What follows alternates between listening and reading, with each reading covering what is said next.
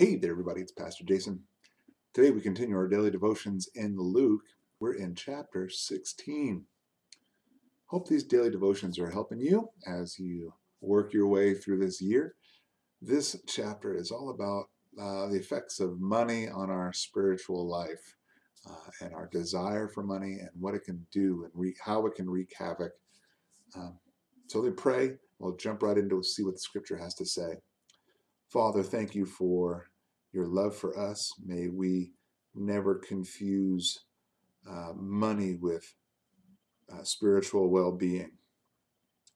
May we never confuse money with blessing. Lord, we thank you for your love for us and your grace and mercy in our lives. Help us to be merciful and graceful with the money we do have. It's all yours anyway.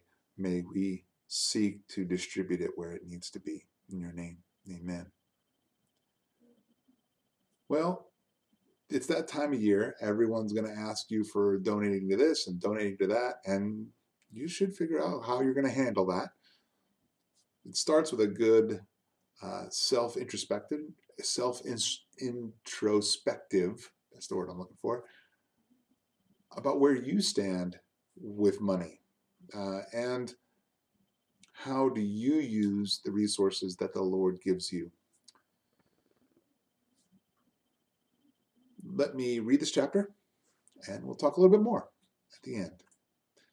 Verse 1 of Luke 16. He also said to the disciples, There was a rich man who had a manager, and charges were brought to him that this man was wasting his possessions. And he called him and said to him, what is this that I hear about you? Turn in the account of your management, for you can no longer be manager. And the manager said to himself, What shall I do, since my master is taking the management away from me? I'm not strong enough to dig, and I'm ashamed to beg. I have decided what to do so that when I am removed from management, people may receive me into their houses. So, summoning the master's debtors one by one, he said to the first, How much do you owe my master? And he said, a hundred measures of oil. And he said to him, Take your bill and sit down quickly and write fifty. Then he said to another, And how much do you owe? And he said, A hundred measures of wheat. And he said to him, Take your, your bill and write eighty. The master commended the dishonest manager for his shrewdness. For the sons of the world are more shrewd in dealing with their own generation than the sons of light. And I tell you, make friends for yourselves by means of unrighteous wealth, so that when it fails, they may receive you into the eternal dwellings. One who is faithful in very little is also faithful in much, and one who is dishonest in a very little is also dishonest in much. If then you have not been fruitful, uh, faithful in the unrighteous wealth, who will entrust you to the true riches? And if you have not been faithful in what that which is another's, who will give you that which is your own? No servant can serve two masters, for either he will hate the one and love the other, or he will be devoted to the one and despise the other. You cannot serve God and money. The Pharisees, who were lovers of money, heard all these things, and they ridiculed him, and he said to them, you are those who justify yourselves before men, but God knows your hearts. For what is exalted among men is an abomination in the sight of God. The law and the prophets were until John. Since then, the good news of the kingdom of God is preached, and everyone forces his way into it. But it's easier for heaven and earth to pass away than for one dot of the law to become void.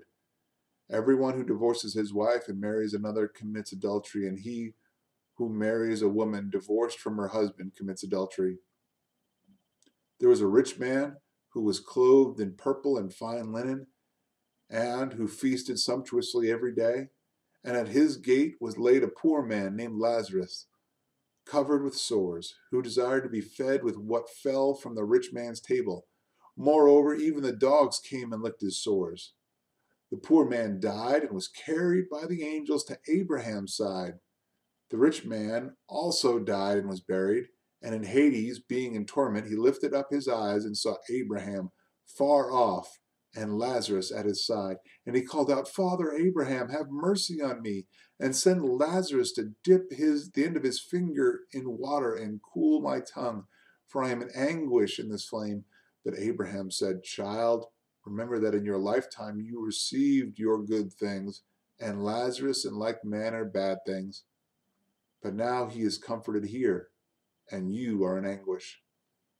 And besides all this, between us and you a great chasm has been fixed, in order that those who would pass from here to you may not be able, and none may cross from there to us. And he said, Then I beg you, Father, to send him to my father's house, for I have five brothers, so that they may warn them, lest that they come to this place of torment, so that he may warn them, lest they also come into this place of torment. But Abraham said, They have Moses and the prophets. Let them hear them. And he said, No, Father Abraham, but if someone goes to them from the dead, they will repent. And he said to them, said to him, If they do not hear Moses and the prophets, neither will they be convinced if someone should rise from the dead. We need to take in close stock in this season of how much control money might have over our lives. We need to give to the needy, see to those who are in need. And if you're one of those who whose heart is hard to the things of spiritual Christianity during the Christmas season, my prayer for you is that you would become soft, hear the message that is put on display throughout this Christmas season. Maybe you're the type who only goes to church at Christmas and Easter. Take stock in your spiritual walk with the Lord. Figure out what it means to have a true relationship with Him where you are seeking Him out day in and day out. I hope chapter 16 of Luke has been a blessing to you. And I hope that you are going to be a blessing to those around you during the holiday season. I'll see you tomorrow with Luke 17.